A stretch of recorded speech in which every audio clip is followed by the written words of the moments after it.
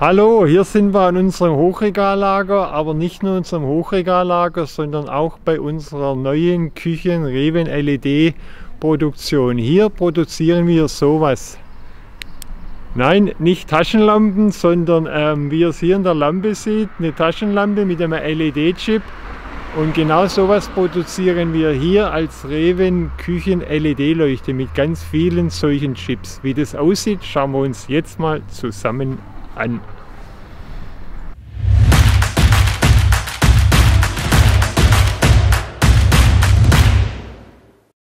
Jetzt sind wir im Revin Hochregallager, wie ihr im Hintergrund seht, und auf dieser Seite unser Hochregallager mit vielen, vielen Komponenten und Waren. Und auf der anderen Seite von unserem Hochregallager ist Produktion und Endmontage.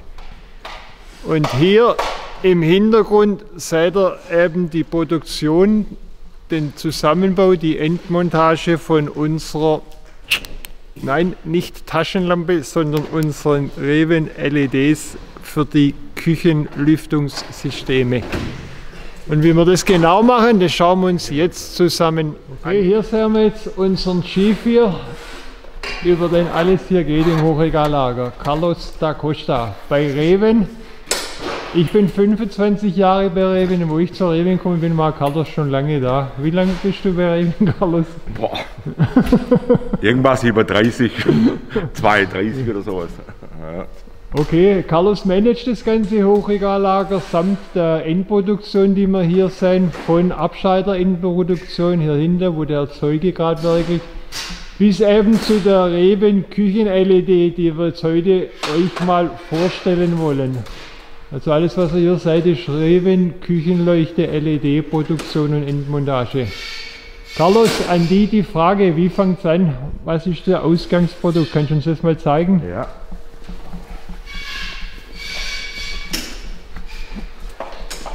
Das ist das Leergehäuse, das wir vom, vom Schweißer, von der Produktion her kriegen zu uns. Also das wird bei uns hier Stanz gekantet und geschweißt. Ja. Dann wird das zu uns hier angeliefert und wird zusammengebaut. Allerdings vorher natürlich diese ganze Verkabelung, der Gabelbaum und alles wird auch bei uns noch vorbereitet. Ja. Und, und, wie man sieht, bestes, hochwertigstes Edelstahl. Ganz genau. Only Stainless Steel. Also kein, keine günstige Baumarkt. du musst halt rausschneiden. Okay, und, äh, und jetzt die, Kom die Komponente, wo reinkommen in das Edelstahlgehäuse, wo, wo fängt es dann an mit der Bestückung? Ja, dann fangen wir dahinter an. Okay. Okay. Okay, hier Schritt 1, Carlos. Bitte erklär mir was, damit auch ich es lerne. ja, hier ist unser Philipp, der produziert, sage ich jetzt einmal, gerade die Kabelbäume für die, für die Leuchten. Da werden die, die Kabel auf Längen zugeschnitten und äh, vorgearbeitet und dann entsteht hier ein Kabelbaum. Darf ich mal geschwind bitte? Der, der Kabelbaum ist der, der, die Verdrahtung innen in der Leuchte oder das wo nach außen? Innen. Die Verdrahtung in, in, in der Leuchte. Okay. So sieht es dann aus, wenn das dann wenn äh, Philipp hier fertig ist. Okay. Und dann geht es ein, äh, ein anderer Schritt weiter, okay. wo wir anfangen, die Komponente. Also von Schritt 1. Da haben wir so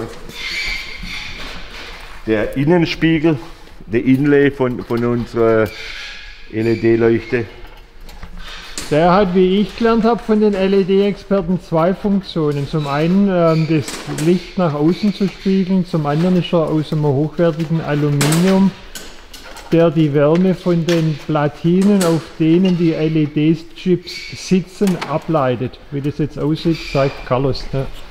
Genau so sieht die Einzelplatine aus.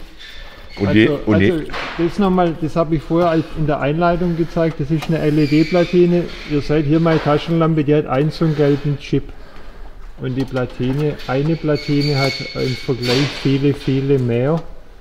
Und so Platinen kommen ja auch wieder mehrere in eine Leuchte rein.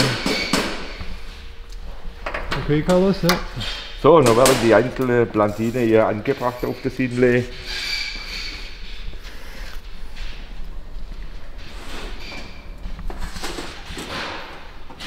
Übrigens, ich muss einmal die Kollegen vorstellen. Also hier Philipp. Dann haben wir hier wen? Jonathan. Der One and Only. Und hier Der Maxi. Maxi und ganz hinten der. Vorstellen. Hallo. Sehen wir natürlich bloß eine hier. Je- Jesus Maria, da hat Ja. vor, vor lauter LED-Platinen gar keine Luft Ja, mehr. ich habe jetzt gerade keine andere da. Ah, ist doch gut, ist doch gut. Das ist im Übrigen äh, gleich zum Produktionsstart haben wir wie, äh, typisch Reven-like, nichts ist unmöglich. Reven haben wir gleich mit einer Sonderausführung für einen Großkunden in Düsseldorf angefangen. Notleid. LED-Standardleuchte mit einer integrierten Notleuchte, das sind die schmalen Streifen, die sind ausschließlich für Notbeleuchtung da. Richtig, Carlos? Jawohl. Okay.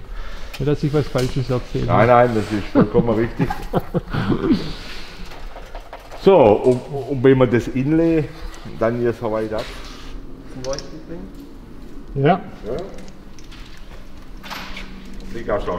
Und der Herr, der, der, der Herr sprach, es werde Licht und Maximilian fand den Schalter nicht.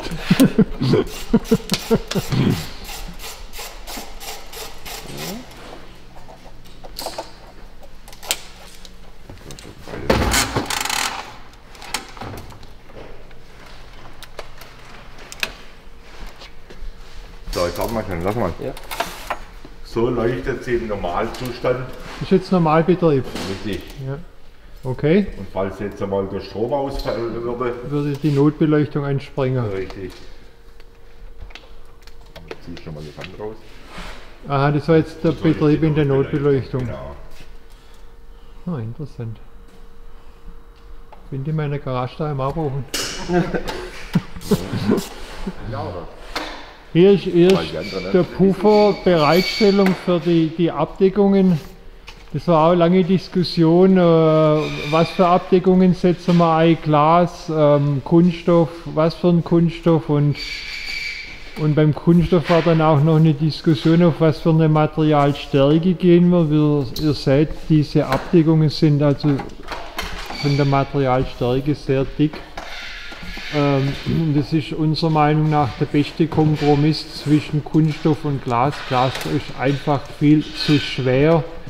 Und dann halt, halt in der Lebensmittelproduktion immer die Gefahr, wenn was passieren sollte mit dem Glas mit Splitter, dass man dann eben bei Kunststoff nicht hat. Und nicht umsonst bei allen modernen Fahrzeugen, Motorrädern sind ja die Scheinwerfer auch äh, die Abdeckungen aus dem Kunststoff. Und so sind wir jetzt auch auf einen sehr stabilen, sehr dicken Kunststoff gegangen, aber der immer noch viel leichter ist wie Glas, aber aufgrund von der Materialstärke natürlich auch super ausdauernd und wird äh, ja nichts passieren, selbst beim Runterfallen und so weiter.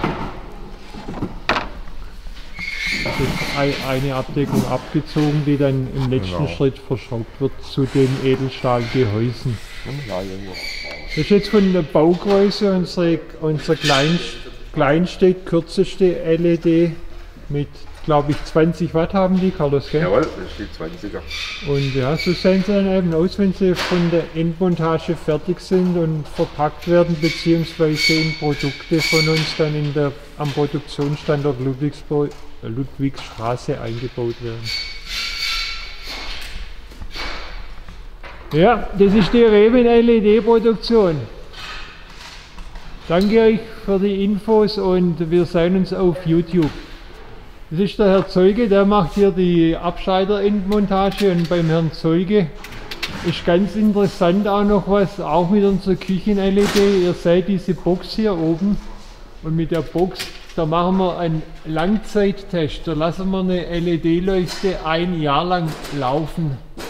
Überwachen permanent die Leuchtstärke, ob irgendwas ausfällt und eben die Standzeiten von allem weil eben diese äh, Standzeiten mit 10.000 Stunden, 20.000 Stunden bei uns wirklich auch äh, gegeben sind und wir überprüfen es. Also ihr seht hier haben wir im Mai einen Langzeittest gestartet und in der Box äh, läuft die LED-Leuchte bis Mai 2022 und über das Ergebnis werden wir dann im Blogartikel berichten, allerdings erst nächstes.